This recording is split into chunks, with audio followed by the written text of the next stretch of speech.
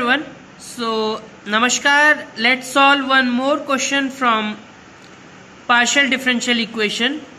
We need to solve p cube minus q cube equals to 0 so as you can see it's a nonlinear uh, partial differential equation. And because it's a function of p and q so how to solve this type of problems uh, you can assume this as equation number 1 because LHS is completely in form of P by Q. So we can directly say that uh, solution or first of all we can write that this is f of p comma q equals to 0 so its solution is given by z equals to ax plus by plus c. Fine?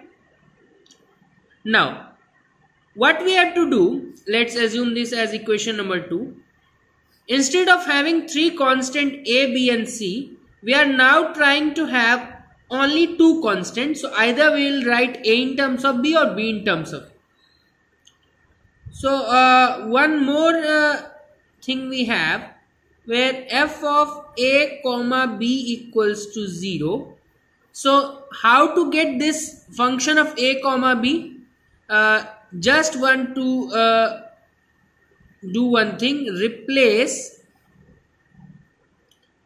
uh, p by a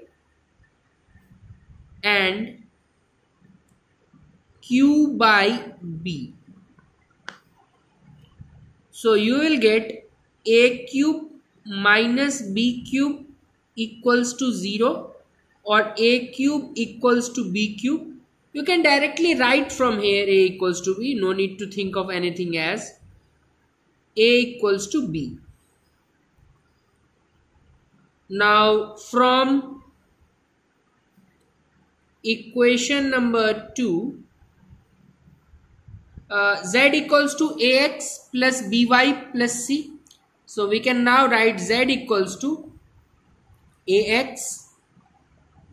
In place of b we can write a. So ay plus c.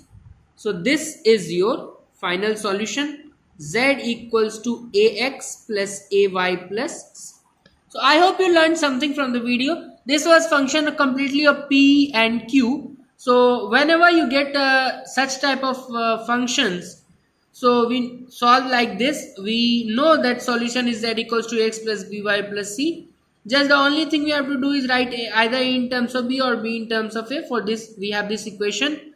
Uh, okay sometimes we uh, ask that why we replace p by a and q by b. Because if you look at this from here if you find del z by del x you are going to get a which is also equal to p because del z by del x is p.